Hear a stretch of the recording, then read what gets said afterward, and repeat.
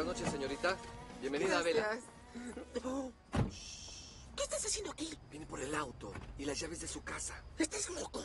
Si dañas el auto de este negro, ¿te matará? No le haré nada. Escucha, solo llámame antes de que salgan. Yo lo devolveré y nos veremos en el club.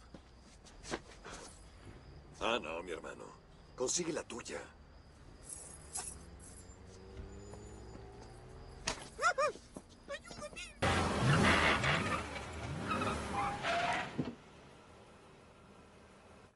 Abriré. Bueno, la empujaré. Ah, sí, tenía que hacer eso. Solo había que girar.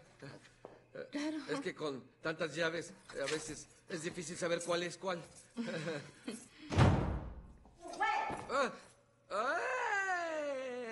¡Hola! Es eh, Meilin. ¡Hola, Meilin!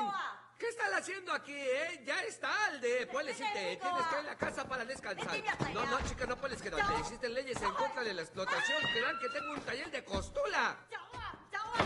Ah, esa chica no quiere irse a su casa, ¿sabes? Te lo juro, se queda aquí a asear, asear y asear y asear. Vaya.